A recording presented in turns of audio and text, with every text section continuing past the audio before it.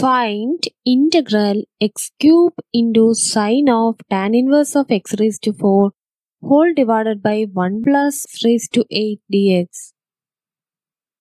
So here we have to find value of this integral that is here we have the functions that is x cube into sine of tan inverse of x raised to 4 whole divided by 1 plus raised to 8 dx. Okay, so here we can see that this function is not in an integrable form.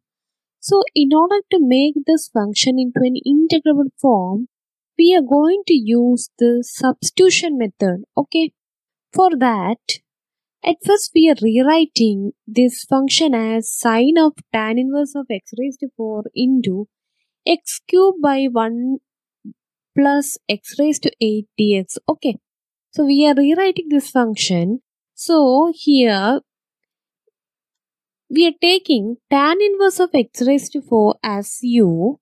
So why we are taking tan inverse of x raised to 4 as u is because on differentiating with respect to x we will get what is tan inverse of x 1 by 1 plus x square. Here instead of x we have x raised to 4 so 1 by 1 plus x raised to 4 whole square into the derivative of x raised to 4 that is 4x cube which is equal to du by dx okay?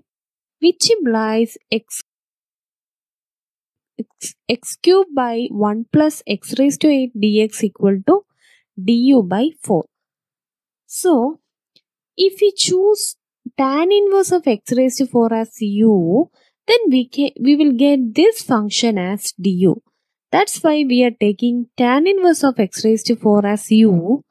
Now by rewriting we will get integral of sine u into du by 4. So our function get reduced like this. Next we are going to integrate it. What is integral of sine u? That is cos u. That is minus cos u. So what is the result of our sorry what is the value of our integral? That is 1 by 4 into minus cos u plus c. What is u? That is tan inverse of x raised to 4.